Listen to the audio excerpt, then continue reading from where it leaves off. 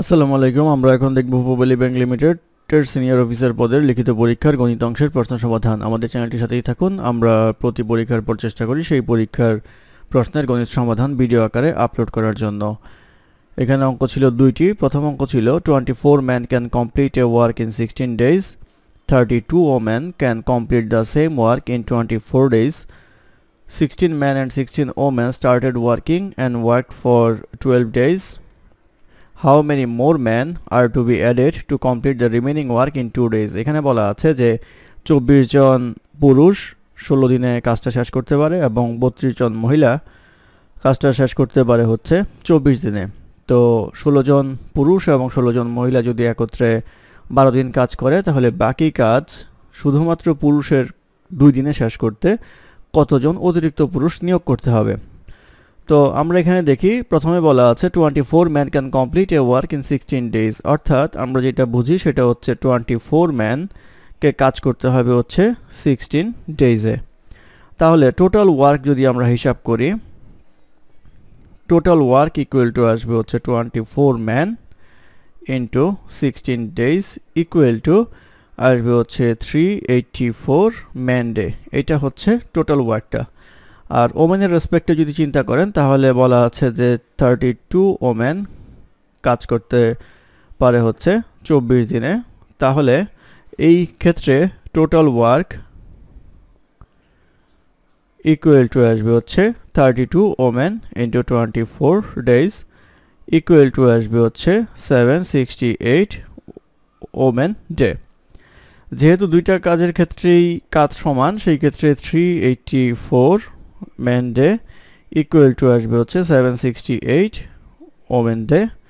বা এটা করলে আসবে হচ্ছে man equal to two women অর্থাৎ একজন পুরুষ হচ্ছে দুইজন মহিলা সমান এখানে দেখা যাচ্ছে। এখন কাজ কতটুকু হয়েছে সেটা আমরা দেখব। Sixteen man and sixteen women started working and work for twelve days তাহলে sixteen man plus sixteen woman কাজ করেছে হচ্ছে টুয়েলভ ডেজ বারো দিন। তাহলে টোটাল ওয়ার্ক ডান হচ্ছে এইটা। তাহলে ওয়ার্ক ডান ইকুয়াল টু হচ্ছে এটা এটা ক্যালকুলেশন করলে আসবে হচ্ছে twelve into sixteen man plus sixteen women হবে হচ্ছে, যেহেতু দুইটা ওমেন হচ্ছে একটা ম্যানের সমান সিক্সটিন ওমেন হবে হচ্ছে এইট ম্যানের সমান। ইকুয়াল টু আমরা লিখতে পারব twelve into twenty four man equal to two eighty eight man day অর্থাৎ বারো দিন টোয়েন্টি ফোর ম্যানে কাজ করলে two eighty eight man day কাজ সম্পন্ন হবে। তাহলে রিমেইনিং ওয়ার্ক আমরা হিসাব করি remaining work equal to total work হচ্ছে এইটা। তাহলে three eighty four man day minus আসবে হচ্ছে two eighty eight man day equal to আসবে হচ্ছে নাইনটি সিক্স ম্যান ডে অর্থাৎ এই পরিমাণ কাজ বাকি থাকে। এখন কথা হচ্ছে যে দুই দিনে এই কাজটা শেষ করতে হবে। অতএব man required to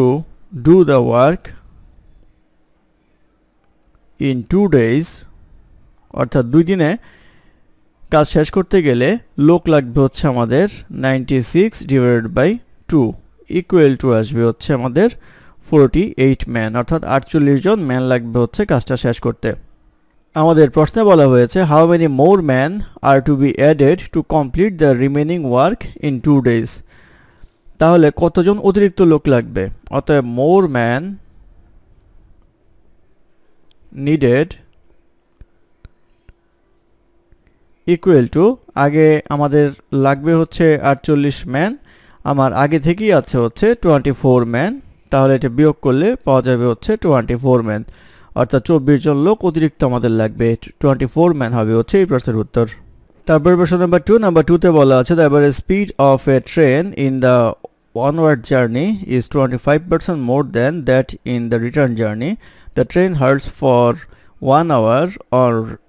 reaching the destination the total time taken for the complete to and from journey is seventeen hours covering a distance of eight hundred kilometre Find the speed of the train in the onward journey. এখানে বলা হচ্ছে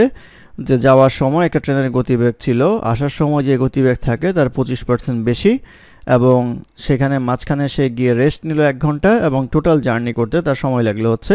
সতেরো ঘণ্টা এবং total জার্নিটা ছিল তার আটশো কিলোমিটার তো জিজ্ঞাসা করা হয়েছে যাওয়ার সময় জার্নির গতিবেগ কত ছিল তো আমরা এটা ধরে নিব প্রথমে, সেটা হচ্ছে let the onward journey onward journey না লিখে অনওয়ার্ড স্পিড দেই one point two five x R return speed equal to আসবে হচ্ছে এক্স আর ডিস্ট্যান্স ইকুয়াল টু আসবে হচ্ছে আটশো কিলোমিটার হচ্ছে যাওয়া আসা সহ, তাহলে দুই দ্বারা ভাগ করলে ইকুয়াল টু পাওয়া যাবে হচ্ছে চারশো কিলোমিটার, এটা হচ্ছে যাওয়া এবং আসা দুইটার ইন্ডিভিজুয়াল দূরত্ব। তাহলে আমরা এখন লিখতে পারব অ্যাকর্ডিং টু কোয়েশ্চেন যে eight hundred kilometre one point two five by x অর্থাৎ দূরত্বকে আমরা স্পিড দ্বারা ভাগ করলাম টাইম পাবো প্লাস হচ্ছে এক ঘণ্টা রেস্ট নিয়েছিল প্লাস হচ্ছে ফিরে আসার সরি এটা ফোর হান্ড্রেড হবে, ফিরে আসার সময় four hundred divide by x equal to আসবে হচ্ছে সেভেন্টিন অর্থাৎ টোটাল সতেরো ঘণ্টা লেগেছিল। বা এটা করলে পাওয়া যাবে four hundred by one point two five x plus four hundred by x equal to sixteen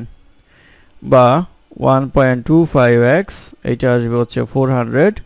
plus এইটা আসবে হচ্ছে five hundred equal to sixteen বা এক্স ইকুয়াল টু পাওয়া যাবে হচ্ছে nine hundred sixteen into one point two five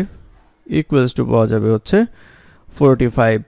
অর্থাৎ forty five হচ্ছে তার speed forty five kilometre per hour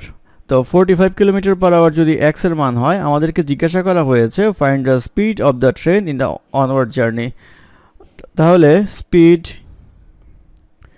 onward equal to আমরা যেটা ধরেছিলাম, সেটা হচ্ছে one point two five x তাহলে one point two five into forty five kilometre per hour equal to পাওয়া যাবে হচ্ছে fifty six point two five kilometre per hour এই fifty six point two five kilometre per hour হবে হচ্ছে এই প্রশ্নের উত্তর। ধন্যবাদ আমাদের সাথে থাকার জন্য। আমাদের চ্যানেলটি ভালো লাগলে অবশ্যই সাবস্ক্রাইব করবেন, লাইক, কমেন্ট এবং শেয়ার করবেন। অঙ্কে কোনো সমস্যা থাকলে আমাদের কমেন্টে জানাবেন। আমরা চেষ্টা করব কমেন্টে তার রিপ্লাই দেওয়ার জন্য। ধন্যবাদ।